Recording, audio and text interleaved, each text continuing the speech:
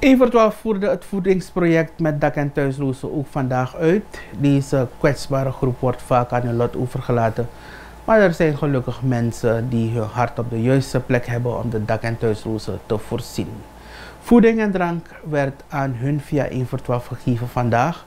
Want het is de 65ste verjaardag van donateur LH Simonson. Het eten werd verwelkomd met het artistieke talent van Ronald Fernandes, de woordvoerder van de dak- en thuislozen.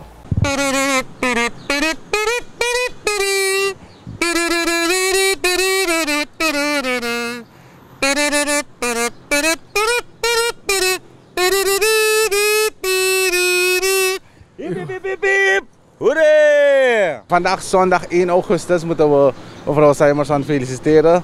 Ze heeft gemeen om dak- en thuisloze voeding en drank te geven. Uh, omdat ze jarig is. Ik wens mevrouw Simerson heel veel geluk en veel, veel kracht en zegen toe. Boeren van Wakanyambong. Eh, mijn klagen, boy, moet ik. Mevrouw Simon, ik ga jullie niet uh, bedanken. Ik ga mevrouw Simonson zeggen, mevrouw Simonson. Je bent een schat. Ik hoop dat je het dubbele voor de certificaat is en koera maar want awaka ondersteunen. Hip hip hip namens alle daklozen resort Parbo mag ik u feliciteren en uw godsrijkste zegen toewensen opdat u een mooie oude dag mag hebben met goede gezondheid.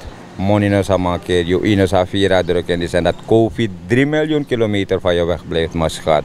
Hartelijk gefeliciteerd. U hebt het gehoord, mevrouw Cyberson. Uh, de vismalen kon niet aanwezig zijn vanwege andere werkzaamheden, maar we zijn er voor u. Nogmaals, hartelijk gefeliciteerd en ja. nog vele na deze, hè?